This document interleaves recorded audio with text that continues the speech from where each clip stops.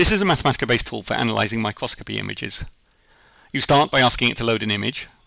You tell it which image you want, and it displays the image together with white crosses showing the particles that it has identified. You can scroll through large images and resize the image area to see more. There are advanced settings for the automatic detection. Reducing the minimum particle size or minimum particle separation makes it more sensitive. These controls are hidden by default. There is a manual override for the identification. You can remove crosses, add crosses, and also move crosses where you think that it has missed or misidentified particles. There are sliders at each side that allow you to manually align the cyan line with the surface of the slice of target, often too faint for automatic detection. Then you get an automatically generated report, which shows that it has identified 260 particles. It gives you visualizations of their spread profile, depth profile, average depth across the sample, and the coordinates of each of the points identified.